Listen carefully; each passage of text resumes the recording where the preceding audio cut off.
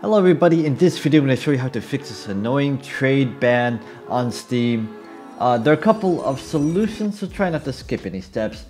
Okay, so why does this happen? Um, this is happening more uh, frequently for many people, um, but there are a couple of different reasons for this happening, and I'll go through them now. Uh, number one, if you change your profile name, uh, you have to wait at least two to four hours until the restriction is lifted. So keep in mind of that. Number two, Steam Guard status. So you want to check if Steam Guard is enabled in your account. So go to Steam, settings, uh, security, Steam Guard.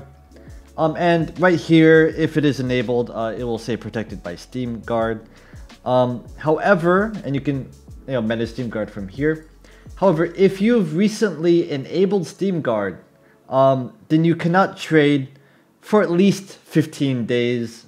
I know it sucks, it's really annoying, but yeah, 15 days. Um, if you have enabled it within the past 15 days, you have to wait. Um, if you reset your password, you have to wait at least, well, roughly five days. So if you've done that, try waiting five days and doing it again. If you've added a new device or a new payment method, you have to wait seven days.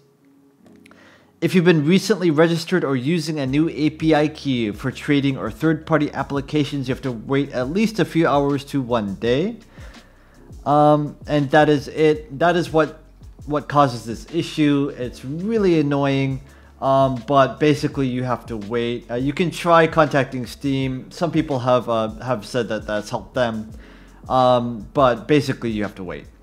And that is it. That was my video. If this helped you, leave the video a like. If it didn't help you, leave the uh, video a comment, and I'll do best to get back to you.